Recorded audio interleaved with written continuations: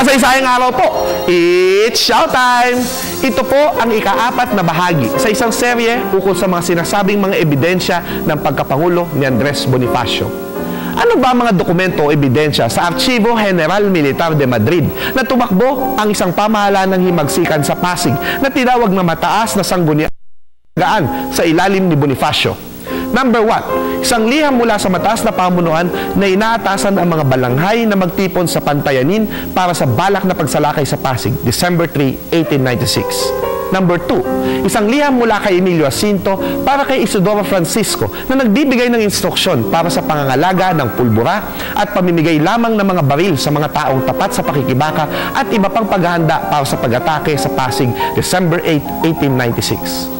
Number 3, isang liham mula kay Bonifacio na noon ay nasa Cavite na sa mataas na sanggunian ukol sa mga nawawalang baril at sa pagpaparusa sa mga taong kumuha nito at pagbati sa kanila sa kanilang pag sa pananagumpay ng Katipunan sa Antipolo at pagpapatibay sa ginanap na halalan ng mga opisyal militar December 12, 1896. Number 4, isang liham na may petsang December 15, 1896 mula sa mataas sa sanggunian na nagpapabatid sa mga balanghay na dumalo sa pulong upang maghalal ng anim na kasapi ng sanggunian at nakalakip pa ang resulta ng naganap na halalan noong December 14.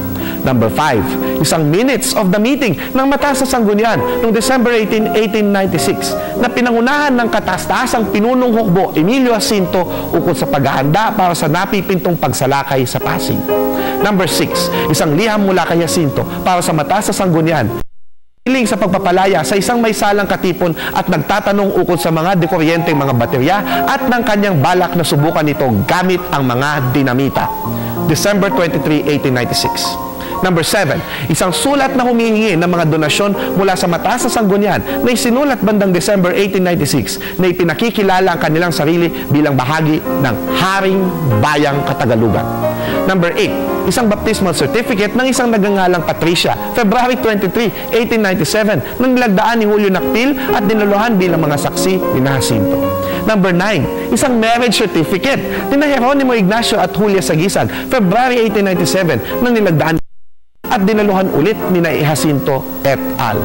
Number 10, Borador ng appointment paper mula sa mataas na sanggunian kay Felicissimo Fineza bilang piskal ng Binangonan Morong, February 1897, sa bisa ng kapangyarihang ibinigay sa kanila ng katas-tahasang Pangulo ng Haring Bayang Katagalugan, si Bonifacio Number 11, isang liham mula kay Jacinto para kay Nakpil na humihingi ng balita ukol sa mga armas na magmumula sa Japan o Hong Kong, April 11, 1897. At number 12, isang liham mula sa mata sa Sanggunian na humihingi ng donasyon na pirmado ni Nakpil mula sa Santa Ana noong September 18, 1897, apat na buwan matapos ang pagpatay kay na nagtataglay ng kaparehong selyo ng pamahalaan ni Bonifacio.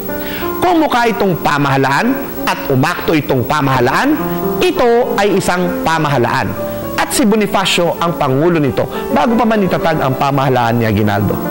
Abangan ang susunod na kabanata. Ako po si Xiao Chua para sa telebisyon ng Bayan. And that was Xiao.